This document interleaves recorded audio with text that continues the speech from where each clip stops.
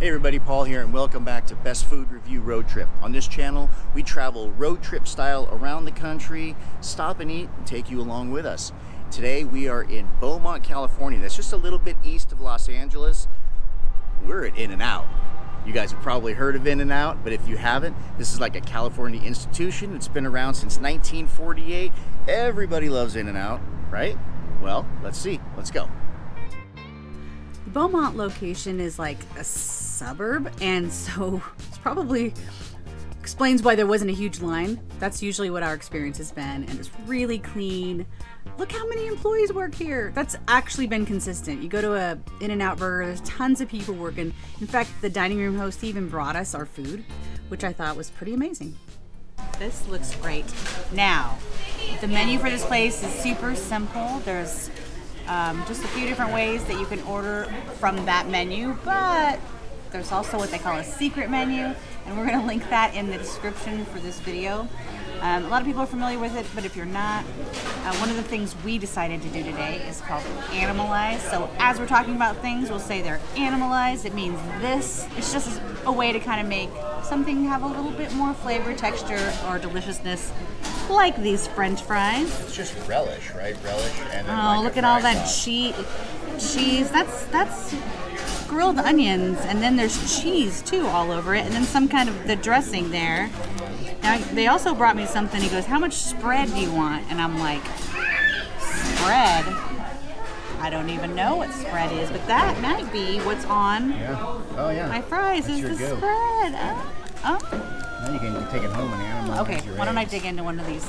Now, I definitely need a fork for these french fries because we did the animal style.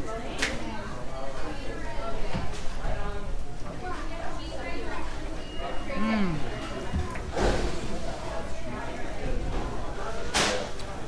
They're good. I don't know if the toppings kind of make them a little soggy, but um, it's really hard for me to say with anything, any at any point, any time, with any French fry, that I don't like it because I love. Pretty much love them all. I do love them all. I do love them all. So I'm going to start off by saying no, they do not have beer here, but they do have a lot of fountain drinks. Um, so I guess we'll have to drink beer later. But this is probably one of their more famous hamburgers. This one is called a double double, which means it's got double meat, double cheese, and it comes with like pickles and tomatoes. And the really cool thing is they'll grill your onions here at no additional charge. It's just a lot of times they'll ask you, "You want them grilled?" Which I go, "Yes, I do." Now I animalize my burgers, so they put all that goo on top of that also, and you can actually get a three by three and a four by four. I mean, they'll do it all. Does that ya. mean four patties? four patties, Good four lord. pieces of cheese? Yeah, it's. This isn't really a heart attack, but a four by four would be, right? Oh. Okay, so here we go.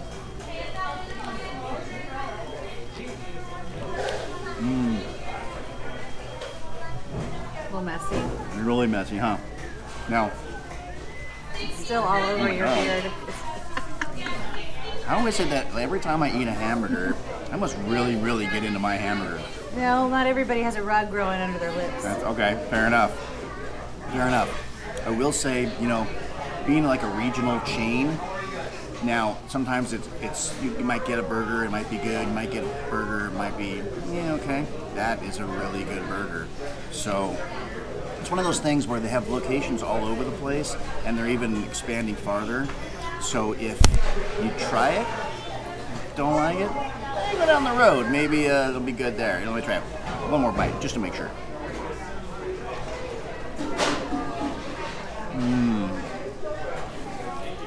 Oh my god. Do I get Dripping all over the place. hamburger too? Well, after I try out this.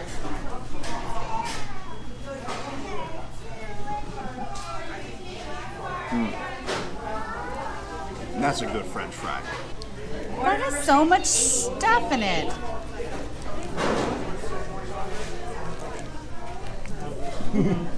Yeah, it's super juicy. Mm. How come yours wasn't so juicy? I don't have hair growing on my Okay, face. okay, fair enough. Hmm. I love all the pickles, tomatoes, lettuce. They're fresh. They taste fresh. So it gives it lots of texture. No, probably like silly. It's like, Amy, it's just a hamburger. It's not just a hamburger. I mean, like regional favorite hamburgers would be, we tried Roderburger, uh, Blake's. La- Blake's Lotaburger, um, Burgerville. This is this is holding its own in that list, I think, Yeah, I pretty think well so. this year. Yeah. So what did we think of In-N-Out today? We loved it.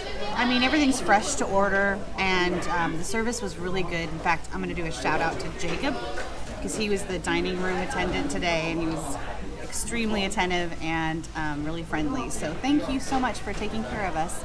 Um, In-N-Out's everywhere in California. Plus, you can find it in places like Texas, Utah, Nevada, Arizona, Oregon. Oregon, and I, it's ever expanding. Texas. I said Texas. Did I say Texas? I so. I might. anyway, uh, we really enjoyed our meal today, and uh, we'll we'll likely stop at In-N-Out again on the road. One thing I do want to say is like we didn't have a line at all. Like we came in at four, it was just like walked right up to the counter.